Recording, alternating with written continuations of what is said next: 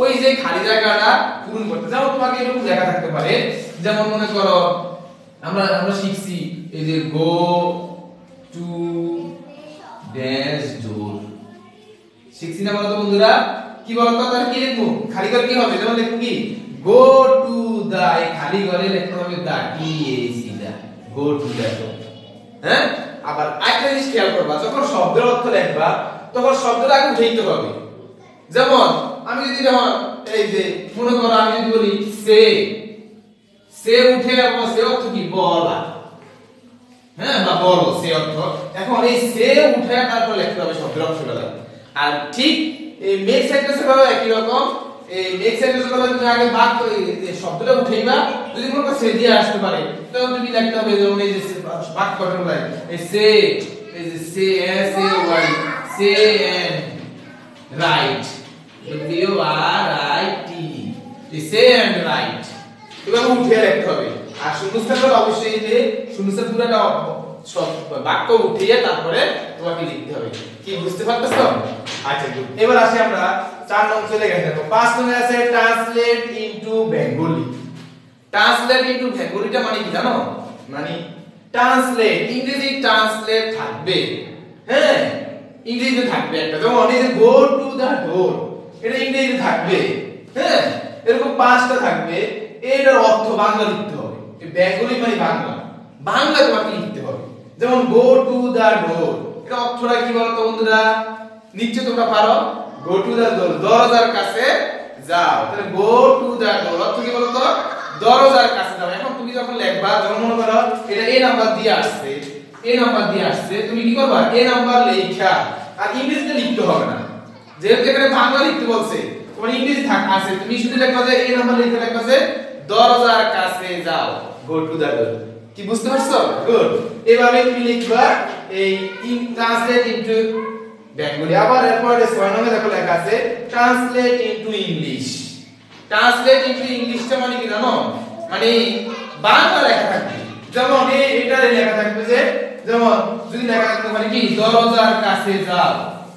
মনে লেখা আছে যে, এই দরজার কাছে যা।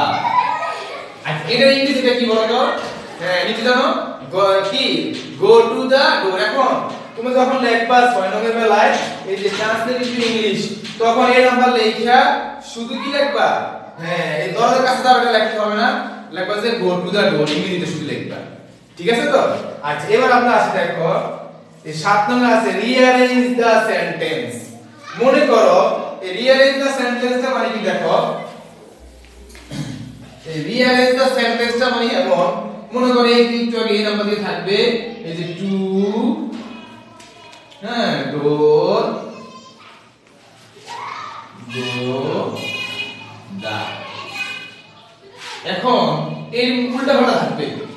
একটা বাক্য এই সেন্টেন্সটা এটা কি বলতো? উল্টা পাল্টা দেওয়া আছে। এটা তুমি সাজিয়ে লিখবা। এখন সাজিয়ে লিখলে কি হবে বলতো? বলতো তোমরা বলতো, তাই গো হবে। এই গো, তারপর টু এই দা ডো এই এটাকেই বলে কি বলতো? এটাকেই বলে রিঅ্যারেঞ্জ দা সেন্টেন্স বুঝছ? রিঅ্যারেঞ্জ মানে সাজিয়ে লিখবে উত্তর। ঠিক আছে তো? আচ্ছা এবার আসো আট নম্বর answer to the following question answer to the following কোশ্চেনটা মানে কি জানো? প্রশ্ন লেখা থাকবে ইংরেজিতে, তোমাকে কি করতে হবে? অ্যানসারটা লিখতে হবে। যেমন প্রশ্ন লেখা থাকতে বলে হাউ আর ইউ প্রশ্নটা মনে করে এমন লেখা আছে। মনে করো, এরকম প্রশ্ন লেখা আছে, আট নঙে যেমন, এই নাম্বার দিয়ে লেখা আছে how A R R you Y O U লেখার পর প্রশ্নবোধক চিহ্ন দেওয়া আছে। হ্যাঁ? এখন, তুমি যখন লিখবা, তখন এ নাম্বার দিয়ে লিখবা প্রশ্ন খাতা যখন লিখবা, তখন এই নাম্বার লিখবা হাউ আর ইউ হ্যাঁ? হাউ আর ইউ এটা মানে মানে তুমি কেমন আছো? ইংরেজি লিখতে হবে, কি লিখতে বলো তো? হ্যাঁ হাউ আর ইউ প্রশ্ন উত্তরে কি বলতো আই এম ফাইন এখন তুমি লেখো শুধু যে I am fine I am fine তাহলে হাউ আর ইউ এর প্রশ্ন থাকলে, তুমি লিখতে হবে আই এম ফাইন ঠিক আছে তো? আচ্ছা এই আট নম্বর দেখো। নয় নম্বর দেখো, ইংরেজি উচ্চারণ ইংরেজিতে লিখো। এটা দেখো, ইংরেজি উচ্চারণ যেমন যেমন দেখো, এরকম পাঁচটা থাকবে তোমার এই নাম্বার থাকবে হাল। মনে করো হাল লেখা আছে। এখন, এটা ইংরেজি হাউ তোমাকে বাংলা লেখা থাকবে, তুমি ইংরেজি লিখবা how H O W how সহজ একবারে সিম্পল তাই না? হ্যাঁ হাউ এরকম, ইংরেজি উচ্চারণ ইংরেজিতে লিখো। দশ নম্বরে থাকবে ছবি দেখে ইংরেজিতে নাম লিখো। ছবি দেখে নাম।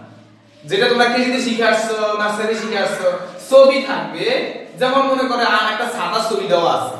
তুমি এটা লিখতে হবে কি? শুধু ইংরেজি নামটা লিখতে হবে যে, এটা আমরা পুরনো জিনিস পারি umbrella U M B R E double L A umbrella তাহলে এই ছবি দেখে নাম। এই হচ্ছে তোমাদের এ পার্ট সম্পর্কে এই প্রশ্ন সম্পর্কে ধারণা। আজকে আমি এই পর্যন্তই সমাপ্ত করলাম। আবার অন্যদিন বিপার যে অ্যাক্টিভ ইংলিশ যে বিপার এই বিপার সম্পর্কে তোমাদেরকে স্যারে বুঝিয়ে দিব অন্যদিন হ্যাঁ? ঠিক আছে? তোমার ভাষায় একটু একটু করে পড়ালেখা করবা, ঠিক আছে? সবাই আব্বু আম্মুর কথা শুনবা। হ্যাঁ আল্লাহ হাফেজ।